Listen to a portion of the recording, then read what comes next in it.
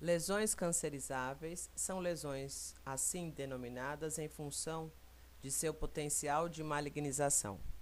Na boca há um grupo especial de lesões com este potencial.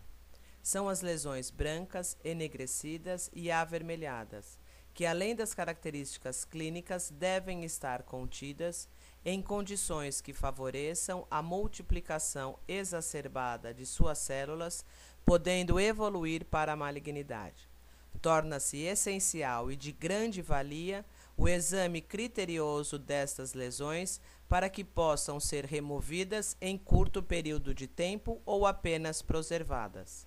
A investigação de possíveis etiologias crônicas e intermitentes, como o uso exagerado do tabaco, do álcool etílico e de próteses mal adaptadas ou antigas é fundamental para a remissão de lesões brancas que estejam associadas ao aumento da camada de queratina.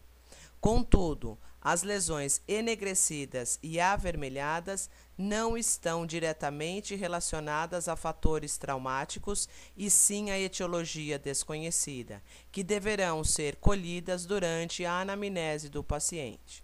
Para que a prevenção e o diagnóstico precoce de tais lesões sejam eficazes neste grupo, a prática constante de inspeções em mucosa são fundamentos na clínica diária.